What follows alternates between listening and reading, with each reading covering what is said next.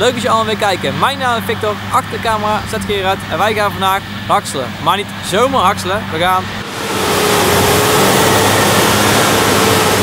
zo hakselen.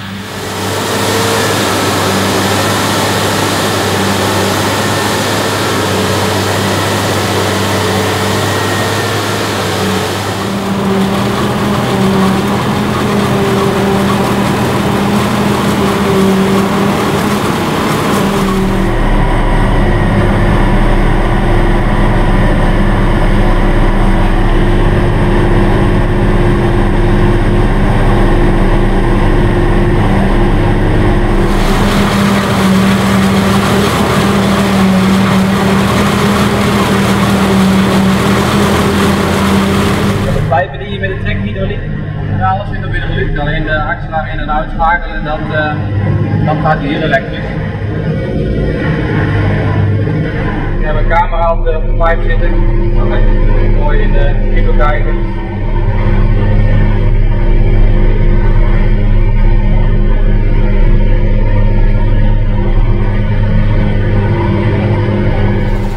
Waarom heb je eigenlijk gekozen voor een, uh, een zes rijen achter een trekker? Nou, we hebben niet zo'n heel groot areaal, we doen zeg maar 150 tot 200 hectare.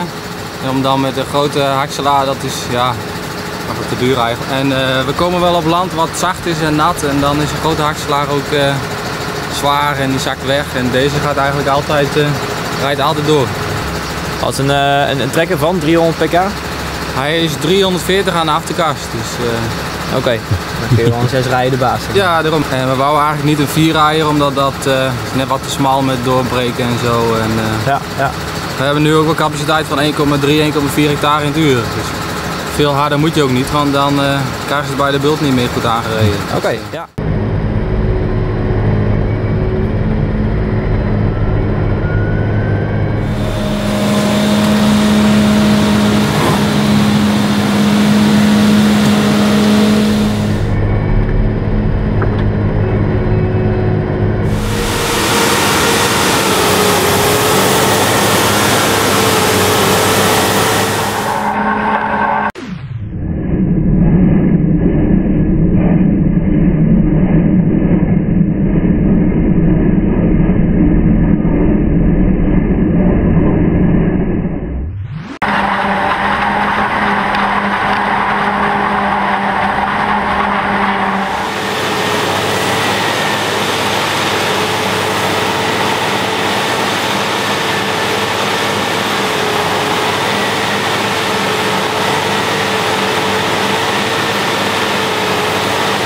Bye.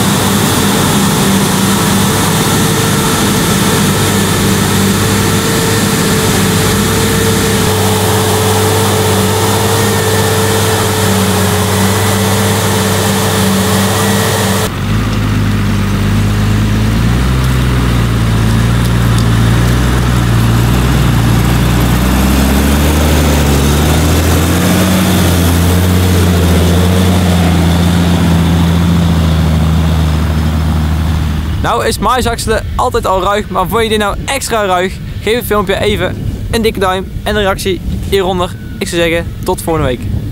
Maar mais is nice.